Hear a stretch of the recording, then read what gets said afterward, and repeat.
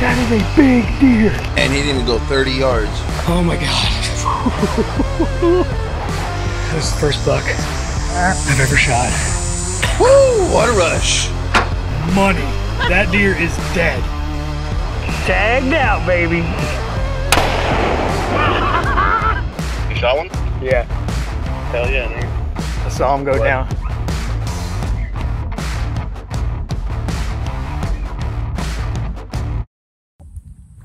Just getting into the woods here.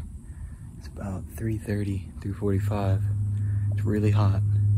I'm going in in shorts. 'Cause I don't feel like staying hot, and I want to dry out once I get in the stand. But nobody's been back in here. Haven't seen any footprints. Haven't checked these cameras in three weeks. Actually, a month now. So we're gonna get in. We're gonna set up where I have some cameras on what looked like some bedding and scrapes. I'm not sure if it was bedding. And uh, we're gonna sit the night and just do a lot of glassing and see what happens. Alright, well I'm about halfway to the spot. Just checked one of my cameras, had buck coming by at Little Basket Rack, six point, every couple of days. It's 103 out. It's hot. Alright, well, based off the sun on the camera I'm setting up by, there's beds all around me and these bucks are coming by this point bedding. This is just a perfect spot. Literally. That's a bed right there. Bed in there all the time. Let's see if we can kill him.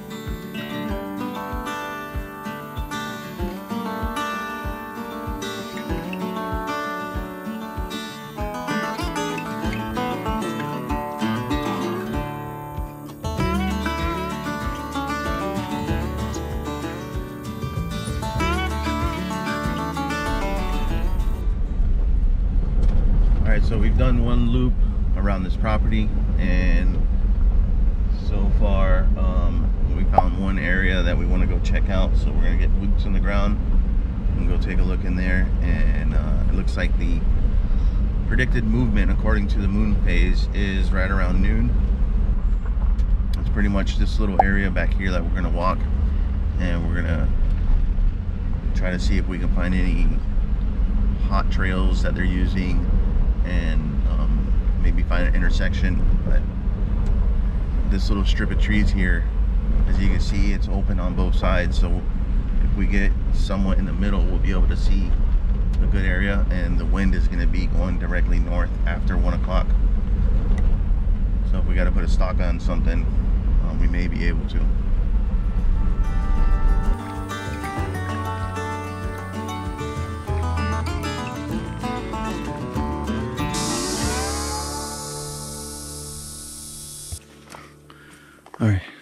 so we're at the base of the tree that we're gonna hunt, but it's gotta be like a hundred something degrees out here, and we just walked. We both started feeling like pretty uh, heat strokey, so we decided to take it easy, take a breather, hydrate, and cool back down before we go and climb this tree.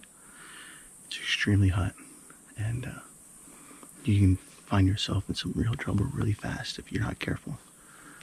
So when you're out here in these conditions, you need to listen to your body and don't rush things. Take it easy, take your time. You'll have a better time if you don't have a heat stroke, that's for sure. So what Luke is doing, using his water pack, his bladder pack, to put it on him. It's cool water, so it's cooling his core down. we're kind of feeding the mosquitoes for a little bit. Then we're gonna climb this tree, get all set up, and pretty much stay here till the sun goes down.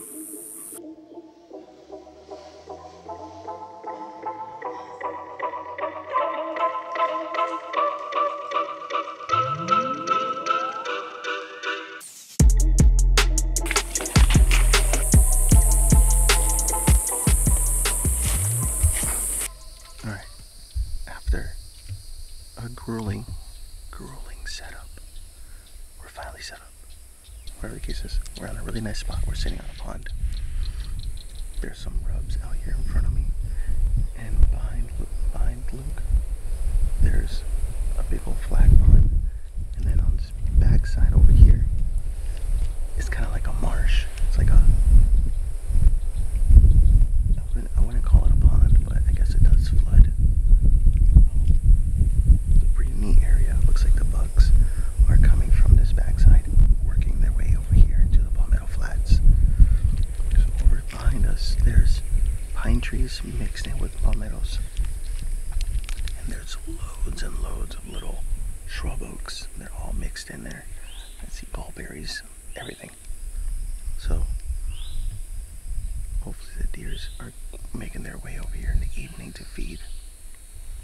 We're gonna find out. So far we haven't seen anything, but we've only been set up for about 40 minutes. The wind has been somewhat swirling. It hasn't really been in any one direction. So we're probably like 25, maybe 30 feet up. Um, so hopefully that works to our advantage. My shooting lanes are right around 30 to 40 yards. If they come down the trail that they've been rubbing on, well, we'll see what happens. It's about 3 o'clock right now. We're sitting until sun goes down, so we got a solid 5 hours of torture. Should be fun. Stay tuned. Well, typical Florida fashion.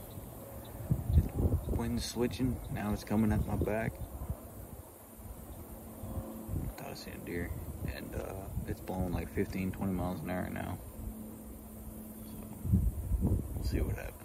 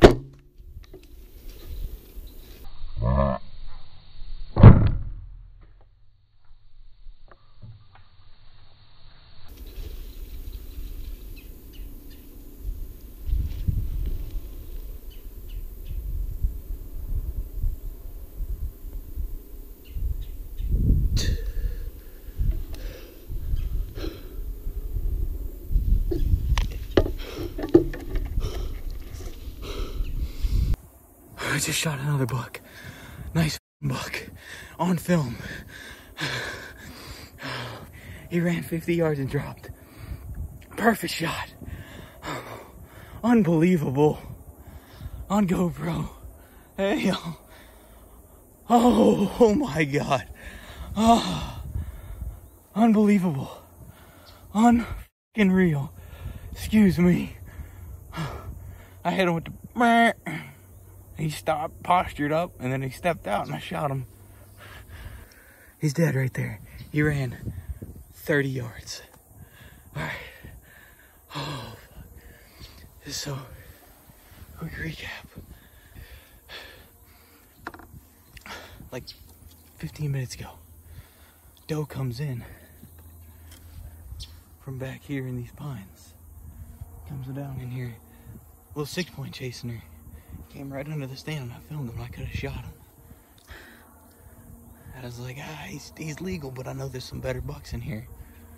And I know there's a bigger one than the one I just shot. But that was too good of an opportunity to pass up. And he came 15 minutes later right down her line, and I grunted him to me with my mouth.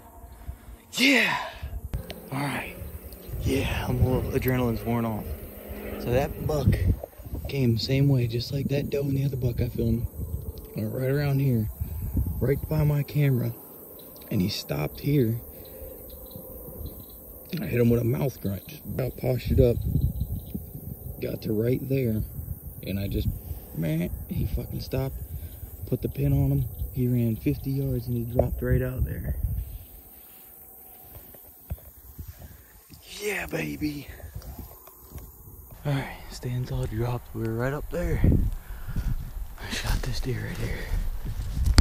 Hopefully I can find my arrow and broadhead because I'd like to just rebuild it if it ain't destroyed.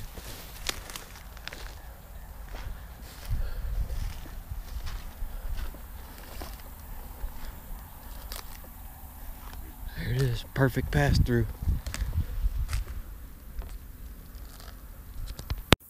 Funny, I watched them go down. I'm sitting here looking for a blood trail, even though I knew I watched them go down. I was like, I can't be off this blood trail that much. Oh no. There is a clear blood trail right there, son.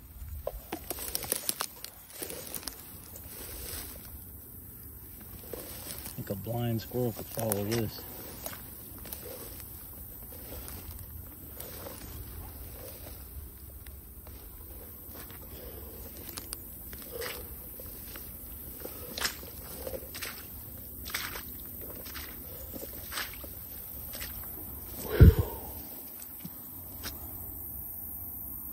Hell yeah, son. That is hat done.